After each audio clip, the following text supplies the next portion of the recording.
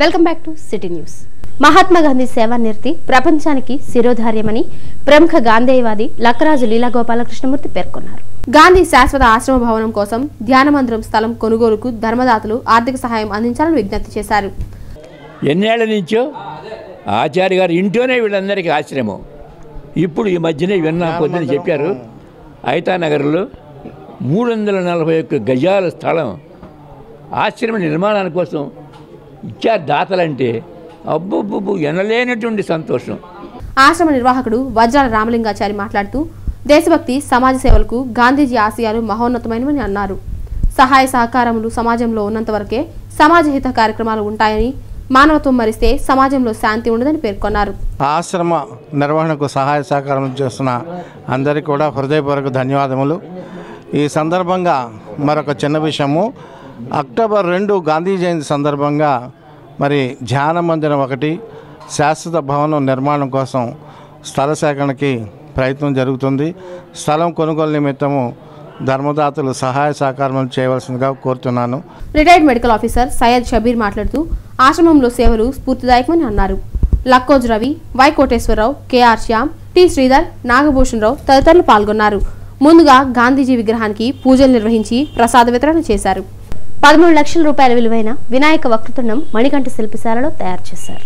తెనాలి పట్టణానికి చెందిన మణికంఠ శిల్పశాల నిర్వాహకులు మంచాల శ్రీనివాస్ మరియు శిల్పశాల బృందం కలిసి మిరియాలగూడలోని వినాయకుడి గుడికి నాలుగు వందల గ్రాముల బంగారపు వినాయకుడి వక్రతుండం తయారు చేసి ఇచ్చారు. దీని ఖరీదు సుమారు పదమూడు లక్షల విలువ కలిగిందని చెప్పారు. ఈ ఆవరణాన్ని ట్రస్ట్ చైర్మన్ శ్రావణ్ కుమార్ చేయించినట్లు నిర్వాహకులు తెలియజేశారు.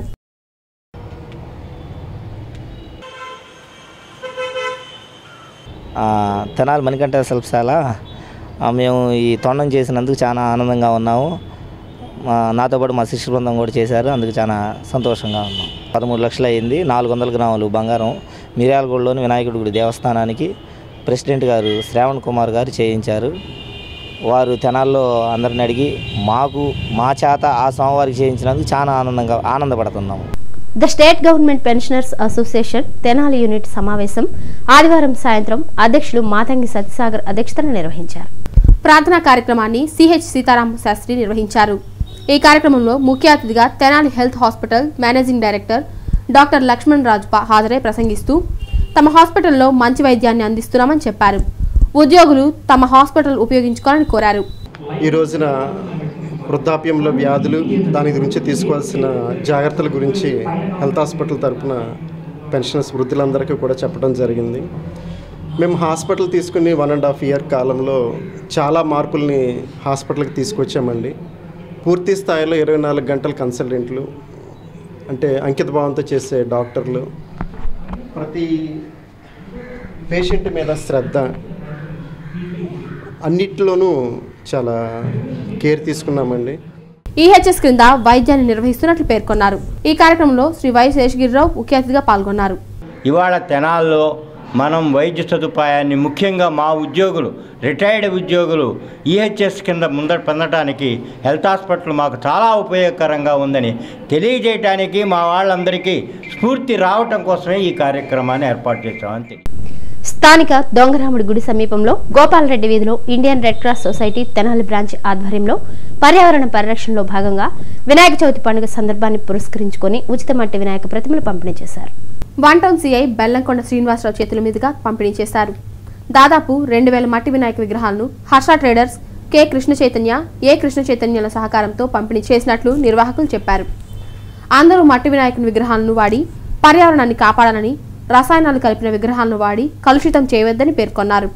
ఈ కార్యక్రమంలో కార్యదర్శి ఎం భానుమతి కోశాధికారి SB Eswararao Konijeti Venkateswararao lions club of Tenali rural అధ్యక్షులు వెలగా సుభాష్ చంద్రబోస్ కొల్లా ధర్మకుమార్ ముద్దాభక్తుని రమణయ్య జేబీ జైన్ సూర్య వెంకట సాంబశివరావు మువ్వల శ్రీనివాసరావు నాడం శ్రీమన్నారాయణ మురళి శ్రీరామ్ రమేష్ తదితర సభ్యులు పాల్గొన్నారు. వినాయక చవితి శుభాకాంక్షలు తెలుపుకున్నారు. ఈ కాలుష్యం అనేది సమస్య అనేది ఎక్కువ తయారవుతూ ఉంది. దీని ప్రకారం మన ప్లాస్టర్ ఆఫ్ ప్యారిస్ బొమ్మలు వాడటం వలన దానికి రకరకాల రంగులు వాడటం వలన కాలుష్యం పెరిగిపోయి రాను రాను ఇక ముందు ముందు పరిస్థితి దారుణంగా ఉండే విధంగా తయారైంది.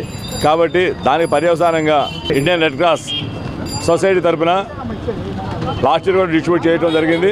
అదేవిధంగా ఈ సంవత్సరం కూడా డిస్ట్రిబ్యూట్ చేస్తూ ఉన్నారు. ప్రతి ఒక్కరూ కనుక ఈ యొక్క మట్టి బొమ్మలు ఉపయోగించినట్టయితే కాలుష్యం నివారించడానికి అందరూ సహాయపడినట్టుగా తయారవుతుంది. మరి పర్యావరణానికి కానీ సమాజానికి కానీ మరి మేలు చేసిన వాళ్ళం కావాలని మా ఇండియన్ రెడ్ క్రాస్ తరపు తరపున కోరుకుంటున్నాను. ప్రతి సంవత్సరము మరి మాకు ఈ యూత్ ఈ మట్టి వినాయకుల్ని ఈ మరి ఉచితంగా ఇచ్చి మరి ప్రోత్సహిస్తున్నందుకు వారికి నా ధన్యవాదాలు తెలియజేసుకుంటున్నాను. అదేవిధంగా మున్సిపాలిటీ ఆధ్వర్యంలో వినాయక ప్రతిమలను పది రూపాయలు ఇరవై రూపాయల చొప్పున మట్టి విగ్రహాలను విక్రయించారు. కలుషిత రసాయనాలతో తయారైన విగ్రహాలను కాకుండా పర్యావరణ హితమైన మట్టి విగ్రహాలను అందరూ ఉపయోగించాలని municipal health officer doctor Ramana పేర్కొన్నారు. ఈ కార్యక్రమంలో జనవిజ్ఞాన్ వేదిక సభ్యులు సుబ్బారావు నగర దీపికలు తదితరులు పాల్గొన్నారు.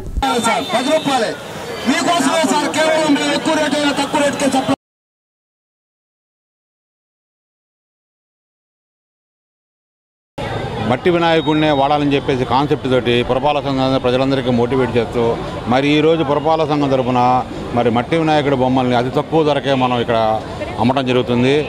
మరి దీన్ని అందరూ కూడా గ్రహించేసి దరిదాపు అందరూ రసాయన ద్రవ్యాలతో చేసిన వినాయకుడు కాకుండా ప్లాస్టర్ ఆఫ్ ప్యారిస్ వినాయకుడు కాకుండా వీటి వలన వాతావరణ కాలుష్యమే కాకుండా భూగర్భ జలాలు కానీ నీరు కానీ పాడవడం జరుగుతుంది కాబట్టి దయచేసి అందరూ గ్రహించి ఈ మట్టి వినాయకుడు వాడండి అదేవిధంగా చిటాంజనేయ స్వామి గుడి వద్ద బజరంగ్ దళ్ ఆధ్వర్యంలో ఉచితంగా మట్టి వినాయకుల ప్రతిమను పంపిణీ చేశారు. ఈ కార్యక్రమంలో ప్రసన్నాంజనేయులు గణేష్ రవి రామరాజు తదితరులు పాల్గొన్నారు.